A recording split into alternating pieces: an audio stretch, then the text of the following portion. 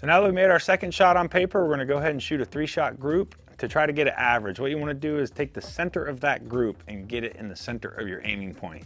One thing to keep in mind, if you're getting really sporadic groups, like really large size, you may wanna think about bullet choice or even just going over your rifle to make sure everything's nice and snug. So we're gonna have Nick shoot that three shot group now and we'll make our adjustments if needed.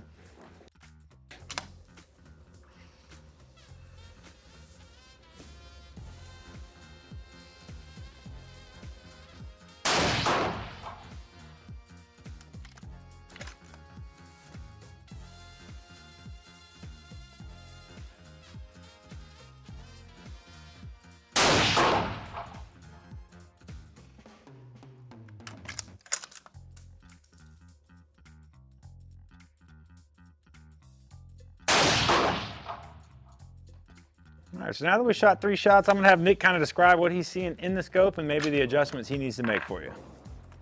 So looking down the scope, I see three shots. One is high and two are uh, a little low and left. So based off of my point of aim, I'm still measuring from my point of aim to the point of impact, to the center of the point of all those impacts. And I'm gonna make my fine-tuned adjustments there. Once I made my fine-tuned adjustments, I'm gonna go to a more refined aiming point on the paper and again, test my group. So looking at my group and my point of aim, I am or a half MOA low and one MOA left. So I'll make those proper adjustments.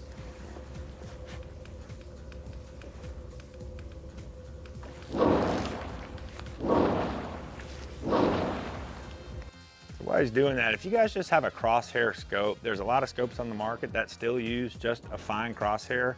You can judge your distance in inches. That's a very easy way to do it. So if you're four inches left or two inches up, you can use that same method. You don't have to have all of the information in the scope to do that.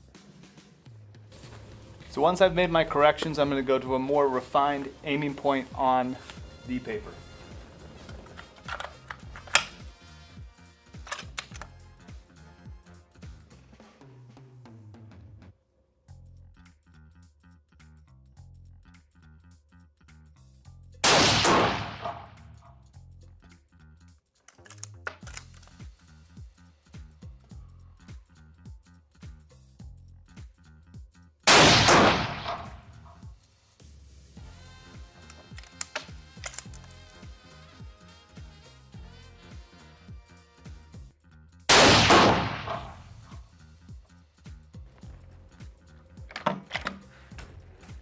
All right, so now that we've got a nice tight zero, we're gonna go ahead and remove the top screw from the scope, go ahead and lift the turret cap off and insert the lock ring. So it's very easy, you just slide it in place and twist it till it stops. It does have an arrow right on the ring so you can't really mess it up.